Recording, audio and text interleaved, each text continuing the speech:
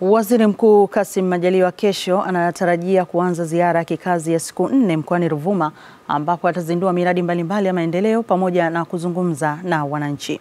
Lakini kama anavyotueleza Mawazo Maijengo, baadhi ya miradi ambayo mwaka jana waziri mkuu aliagiza ikamilishwe bado haijakamilika.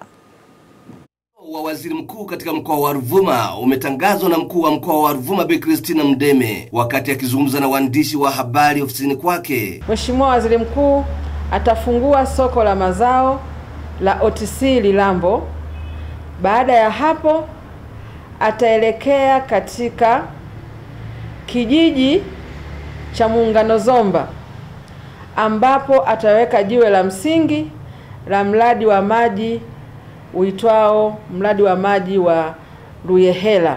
Waziri mkuu anatembelea miradi hiyo huku kukiwa na kusuasua kwa baadhi ya miradi ambayo mwaka jana aliitolea maagizo ili iweze kukamilika haraka, ambapo mradi wa machinjio unaojengwa kwa gharama ya zaidi ya bilioni mbili hapa Songea unaendelea kusuasua, huku ujenzi wa jengo la TANESCO ambalo mwaka jana waziri mkuu alipokuja aliufanyia uzinduzi na aliahidiwa kwamba kufika mwezi wa tatu mwaka jana jengo hilo lingeweza kukamilika na kuanza kufanya kazi, lakini hadi sasa ni kimya, huku kukiwa na sitofahamu ya vifaa vinavyotumika kujengea jengo hilo. Jengo hilo lote liliwekwa vyoo, lakini alipoondoka waziri mkuu vyoo hivyo vilishushwa.